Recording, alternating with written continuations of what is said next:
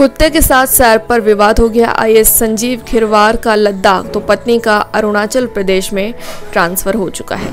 Stadium में कुत्ता घुमाने की मांग करने वाले आईएएस अधिकारी पर सरकार ने कार्रवाई की है। संजीव खिरवार का लद्दाख ट्रांसफ़र कर दिया गया है। संजीव खिरवार की पत्नी आईएएस रिंकू दुग्गा का तबादला अरुणाचल प्रदेश कर दिया गया है।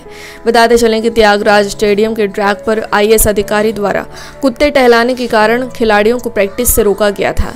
इंडियन एक्सप्रेस की खबर के अनुसार आईएएस अधिकारी के कुत्ते को सैर करवाने के लिए प्रैक्टिस करने वाले खिलाड़ियों को स्टेडियम पहले खाली करना पड़ा था।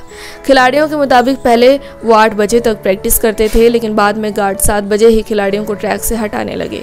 इधर पूरे घटनाक्रम पर आई संजीव खिरवार ने सफ़ाई दी है। उन्होंने कहा कि मेरी वजह से प्रैक्टिस रुकने की बात निराधार है, मैं कभी कभार ही कुत्ते के साथ ट्रैक पर जाता हूँ, जब खिलाड़ी नहीं होते, तभी जाता हूँ। कभी किसी खिलाड़ी को स्टेडियम से बाहर जाने को नहीं कहा, कुत्ते को भी तभी ट्रैक पर छोड़ता हूँ, जब वहाँ कोई नहीं होता। अगर ये आपत्तिजनक है तो इसे बंद कर देता हूँ। इधर दिल्ली के मुख्यमंत्री अरविंद केजरीवाल ने शहर में सभी सरकारी खेल केंद्रों को रात 10 बजे तक खुला रखने का निर्देश दिया है। उप मुख्यमंत्री मनीष सिसोदिया ने गुरुवार को ये जानकारी दी। ये निर्देश मीडिया में आईएएस अधिकारी वाली खबर आने के बाद सामने आई।